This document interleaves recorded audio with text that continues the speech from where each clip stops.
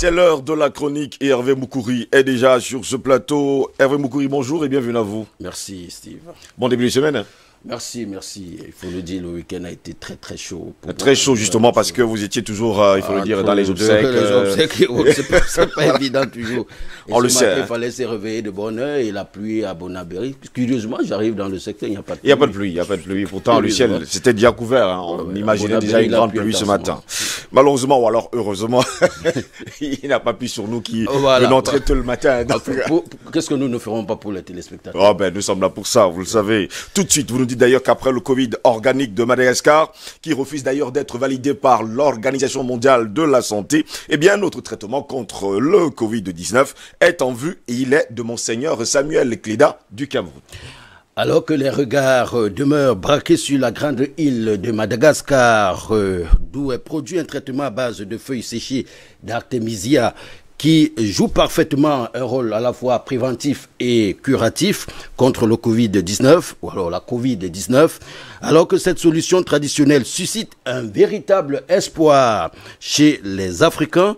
La Covid Organics, découvert et produit à Madagascar, est controversée par certains pays qui refusent d'ailleurs d'être également validés par l'Organisation mondiale de, la santé publique, OMS, qui a dû qui a du mal à croire à l'efficacité de ce remède, surtout du mal à s'imaginer que la solution au traitement du Covid-19 puisse venir du continent africain. Il faut le dire comme ça. Et pourtant, c'est possible. C'est même d'ailleurs le cas. Après le Burkina Faso et le Bénin avec Avipirine, Madagascar avec Covid, Organix, le Cameroun sans tambour ni trompette possède aussi un traitement efficace contre la Covid-19. Il n'est pas encore une production industrielle, mais ce remède fait à base de plantes est actif. Il ne sort bien sûr de nulle part, puisqu'il est l'œuvre et surtout le résultat de recherche de Monseigneur Samuel euh, Cléda, archevêque de Douala, qui apporte sa modeste mais ô combien utile contribution à la lutte contre la Covid-19. Et ce prix-là est loin, il est très loin d'être un charlatan, ce genre d'imposteur qui exploite la crédulité des gens, ces bonimenteurs qui écument donc nos cités au quotidien et qui soignent pratiquement tout. Monseigneur Samuel Kida est un grand homme spirituel, un peu une espèce en voie de disparition. Là, il faut le reconnaître. Ce que bon nombre de fidèles ignorent, c'est un herboriste. C'est un herboriste donc à la réputation établie. Un herboriste qui travaille en étroite collaboration avec euh, des grands laboratoires dans le monde, il faut le préciser. Son amour pour la santé par les plantes est lié à sa vie de prêtre. Il a d'ailleurs publié un fascicule sur le sujet. Directeur au petit séminaire de Guider, c'est dans la région du Nord Cameroun, c'est dans l'archidiocèse de Garoua que Monseigneur Samuel Cléda devrait offrir donc des petits soins sanitaires aux enfants. Alors, euh, le petit séminaire n'avait pas de moyens pour les conduire euh, à, l'hôpital. Le prélat Samuel Cléda et son équipe, faute justement de liquidité, ont commencé à étudier les plantes en question et commencé à soigner les enfants à base des dix plantes. La routine s'étant installée, fidèle population faisait davantage confiance au prélat dont il faisait partie au prélat, c'est-à-dire euh, au prélat Monseigneur Samuel Cléda et son équipe. Donc, euh, euh, par la suite, Monseigneur Samuel Cléda va d'ailleurs constituer une bibliothèque sur les plantes.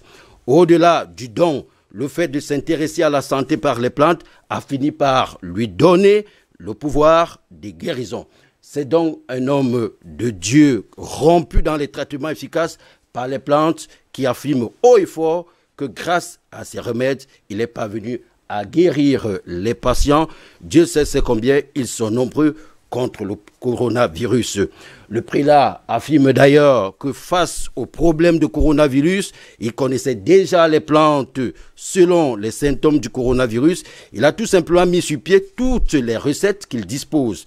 Il les a appliquées aux patients qui ont été tout simplement euh, soignés. C'est le résultat d'une longue recherche qui donne une lueur d'espoir aux malades victimes du Covid-19. Alors, comment cela se passe concrètement? Vous me posez la question. Si la personne est infectée, Monseigneur Cléda et son équipe lui administrent le produit et au bout de certains temps, si Elle se porte bien. Ils font un nouveau test pour voir si le virus est mort ou pas. Et de là, de là donc naît la certitude de la guérison ou non. Toujours est-il que selon l'homme de Dieu, ceux qui prennent le produit se portent toujours euh, bien. Et quand on connaît l'archevêque de Douala, réputé pour son esprit méthodique, rationnel, clair et surtout logique, bref, son esprit cartésien, on est en droit de croire que Monseigneur Samuel Cléda, qui appelle également les scientifiques et les chercheurs du continent à unir leurs forces pour trouver un remède contre le Covid-19, eh bien, Monseigneur Samuel Cléda ne vend pas tout simplement du vent. La preuve pour l'instant, les produits sont administrés, vous dites au quartier donc gratuitement. Gratuitement, en tout cas, c'est le cas depuis un bon bout de temps déjà, il faut le dire. On espère avoir d'ailleurs Monseigneur Cléda peut-être demain, qui sait, hein, sur notre plateau d'IBS. Tout au moins sous forme d'interview. Tout au moins sous forme d'interview. Justement, pour l'avoir, hein, c'est pas aussi facile que ça. On sait pertinemment qu'aujourd'hui, hein, il est très sollicité. Très sollicité, justement, pour en parler. Et c'est justement une bonne nouvelle également qui nous vient du Cameroun. Bon, là, maintenant, même si l'OMS dit que ça ne marche pas, ça ne marche pas, nous, on essaie de trouver nos solutions ici. Petit à petit, on va y arriver. Sans Donc, vous êtes euh, d'accord également avec euh, toute l'équipe hein, de JBS Matin qui déclare que, bon, nous, on va boire ça ici, il n'y a pas de souci. Avec délectation, j'ai toujours coutume de le dire avec plaisir, un grand plaisir. On le prendrait avec plaisir parce qu'il faut toujours. C'est pas tout ce, tout ce qui, est, qui vient d'ailleurs qui est forcément bon pour euh, le continent africain. Nous avons nos pratiques ici, nous avons des plans, nous avons toute autre chose qui nous permettent de recouvrer très rapidement la santé. Et pourquoi hésiter lorsqu'on a des possibilités les utiliser pour, euh, n'est-ce pas, euh, recouvrer justement cette santé? Il y a un ministre de la Santé de Madagascar qui a d'ailleurs déclaré hein, justement au monde entier, entièrement et totalement, pour leur dire tout simplement que lorsque une voiture hein, se gâte sur le continent africain, on ne les attend pas hein, pour aller... Pour venir les dépanner. Dépanner les voitures ici. On les dépanne et puis après, elles marchent super bien. Et elles, ont encore une durée de vie peut-être de 10-20 ans. d'ailleurs, vous voyez cette déclaration. il faut d'ailleurs, euh, il déclare d'ailleurs qu'il voudrait s'adresser à certains médias de l'Occident, vu, il faut le dire, hein, les condescendances et surtout, il faut le dire comme ça, les ironies sur les réseaux sociaux sur ce Covid euh, organique. En tout cas, nous aurons le temps d'en débattre tout à l'heure. Merci en tout cas. C'est bien dommage que ce soit un, ancien président de Madagascar qui lui s'oppose à ce, traitement euh, de Covid organique. Euh, euh, je crois que c'est Ravi. Il s'appelle Mac Ravalomanana.